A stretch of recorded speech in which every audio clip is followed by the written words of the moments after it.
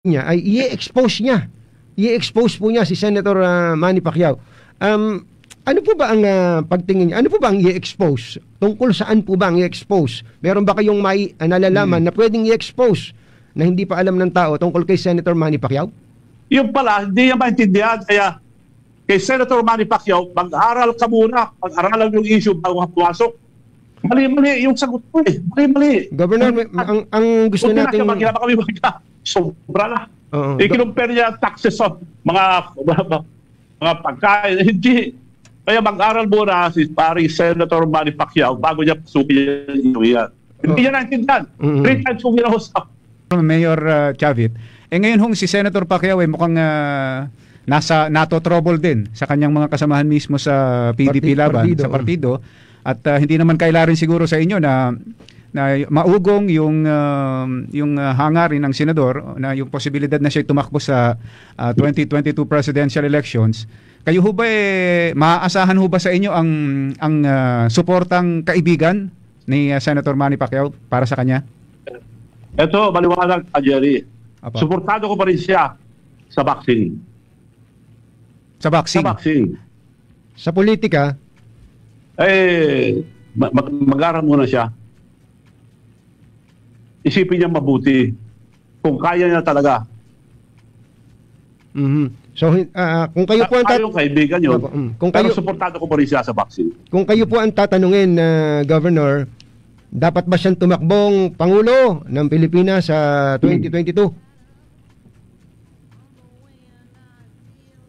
Well, bilang kaibigan, kasi sa vaccine ayaw na nga siyang umapan eh. Dahil sinabi ko nung araw pa, at the age of 40, makanta ka na sa vaccine. Mm-hmm. Dapat huwag ka na lumaban. Eh, lumalaban pa rin. Mm-hmm. So, maski gano'n ang desisyon, supportado ko pa rin sa vaccine. Mm-hmm. Pero sa politics, yung iniisip niya, habang ini-interview, eh, naka, nakakahalata ng taong bayan na di pa hirog siguro. Mag-aral muna. Mm-hmm. Kaya yun lang, binata, itong sinasabi niya, hindi niya maintindihan. Bakit ko pinipigil? Eh, makikilabang kami kung ituloy niya. Eh, sabi niya, pinakiusapan ako. Hindi ko sinunod. Tinuloy ko. Sige, makikilabang kami. Tinuloy niya. Mm-hmm. Opo. Meron pong, meron, meron, meron pong mga research, uh, political researches at pati po surveys, um, Governor, na nabasa po kami na ang lagi pong nababanggit kay uh, kay Manny Pacquiao kaya po uh, may mga taong umaayaw sa kanya eh dahil po nababanggit po ang inyong pangalan at itinanong ko nga kaya nga naungkat niya yung tungkol dun sa sa example na parang uh, hindi niya kayo pinagbigyan, eh sapagkat uh, ang dating eh, kayo ang magdidikta sa kanya. Kayo ang magdidikta sa kanya. So, are you saying that you are distancing yourself from Senator Manny Pacquiao uh, pagdating po sa politika starting, uh, well, starting today? Uh, yes, starting today. Siya nagsabi. Mm-hmm.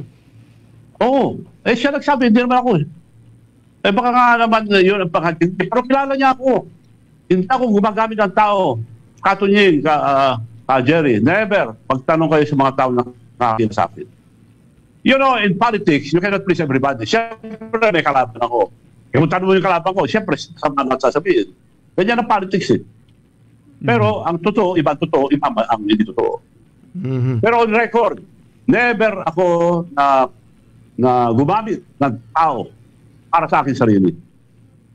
Mm-hmm. Kaya yung excise tax ng tabako, ako, author ako gumawa sa Congress. Mm-hmm. Republic Act 7171, yan ang tinatawag na Republic Act 707. Ako po ang sumutor na gumawa sa Congress. At luckily, bumasa lahat sa Senate, sa Executive, naging batas. Mm-hmm. So alam ko po yan, kaya mm-hmm. sinabi ko kayo, sobra na yung pagtulong sa amin, tama na. Mm-hmm. Uh, Hindi uh, yan pala naintindihan. Governor, isang, isang tanong na lang, ano?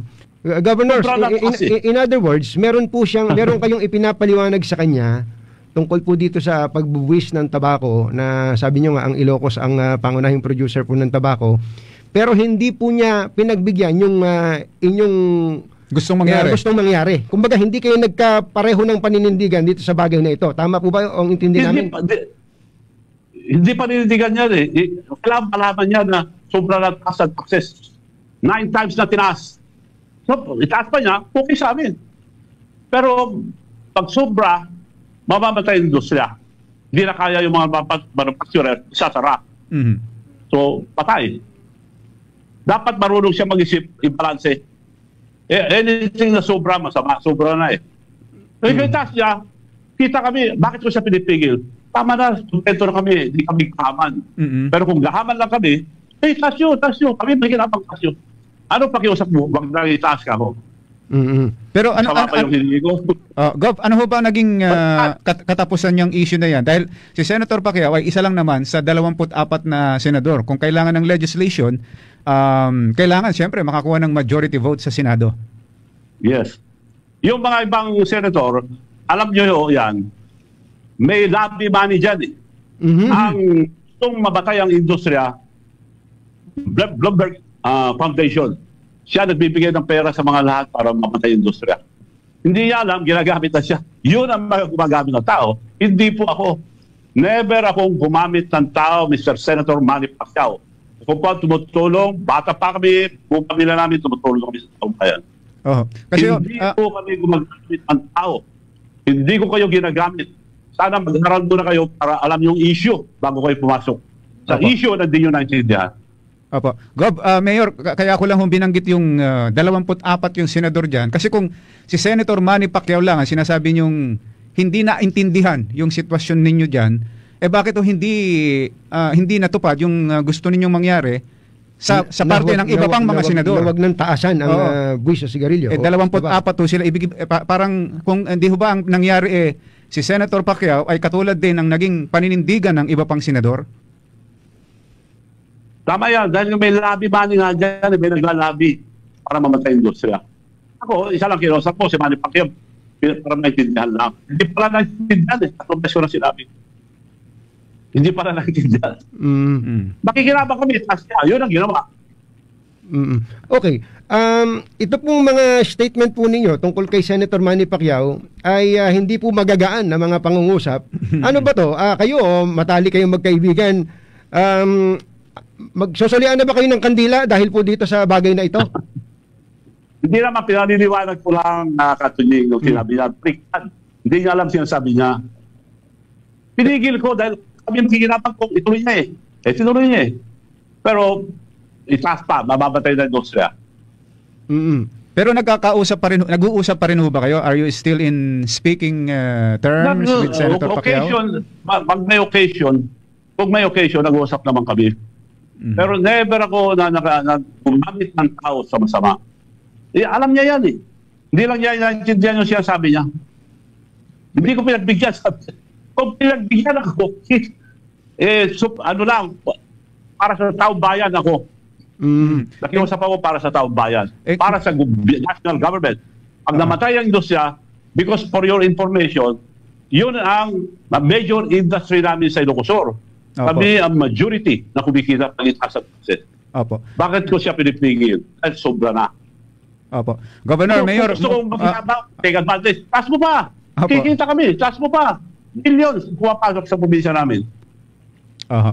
O ba't, ba't ko pinigil? Dahil sobra na. Okay. Yun ang di maintindihan.